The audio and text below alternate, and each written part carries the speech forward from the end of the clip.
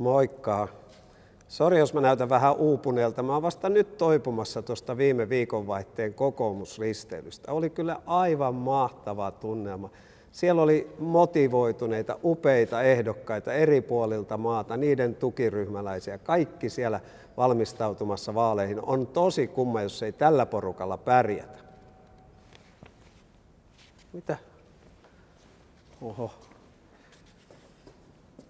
Tällä viikolla on puheenaiheita riittänyt. Voisi puhua siitä, miten jopa talouden arviointineuvosto yltyi kehumaan hallituksen työllisyys- ja finanssipolitiikkaa, koska hallitushan on uusien lukujen mukaan selvästi ylittämässä työllisyystavoitteensa. Mutta ajattelin sanoa pari sanaa näistä valtiosääntöasiantuntijoista. He nimittäin alkuviikosta lausuivat STTlle, että tämä sote-uudistus ei ole hyvä, koska paljon palveluja tarvitsevien potilaiden asema ei parane, vaan jopa huonone. No tämähän on asia, josta täällä eduskunnassa ollaan aivan eri mieltä, sote-asiantuntijat on aivan eri mieltä, niin ilmeisesti tuommoinen oikeustieteellinen koulutus, varsinkin jos on väitellyt valtiosääntöoikeudesta, niin antaa pätevyyden arvioida tällaista sote-uudistuksen keskeistä kohtaa. Toinen ihan vakava kysymys on se, että kuinka korrektia on, että pari perustuslakivaliokunnan asiantuntijaa pyrkii julkisuuden kautta painostamaan perustuslakivaliokuntaa tässä asiassa.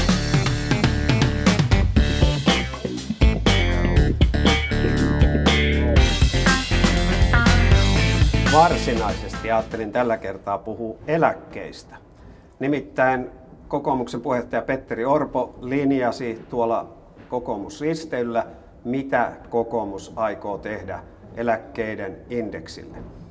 Tämä on valtavasti eläkkeensaajien keskuudessa herättänyt huolta ja keskustelua tämä indeksin rakenne.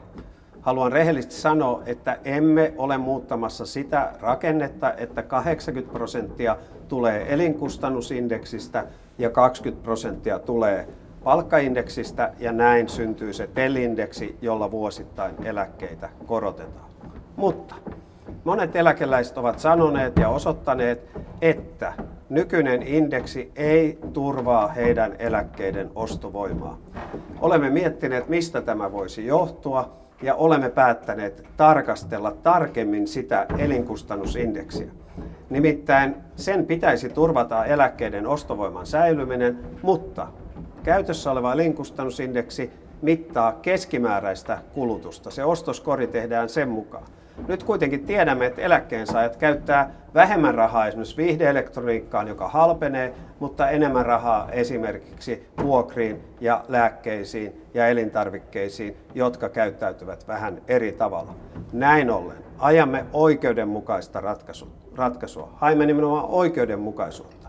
Eli tämä indeksin, elinkustannusindeksikomponentti tulisi sillä tavoin muuttaa, että se vastaisi eläkkeensaajien ostokoria, ei yleistä ostokoria. Ja näin kun teemme, niin se turvaa paremmin kuin nykyinen eläkkeensaajien ja eläkkeiden ostovoima. Tämä tällä kertaa. Moi! Hei, katso nyt, katso nyt. Nähdään tässä. Siis tää